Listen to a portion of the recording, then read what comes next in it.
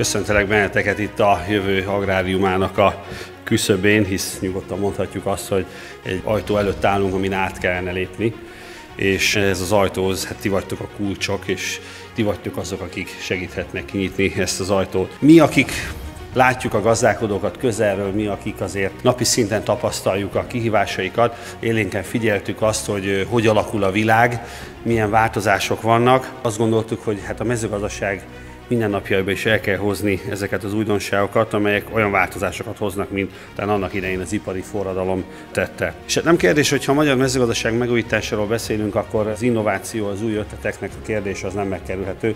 Olyannyira nem, hogy én azt vallom, hogy igazából ez a, ez a kulcs.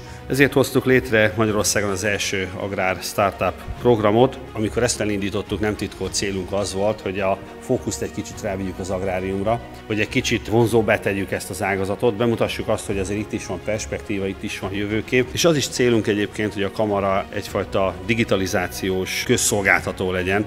Ez egy nagyon nagy lehetőség, és egy ugyanakkor a felelősség is. Úgyhogy köszönöm szépen, hogy itt vagytok, és köszönöm szépen, hogy így együtt tudunk dolgozni, és bízom benne, hogy nagyon sokáig így is marad ez.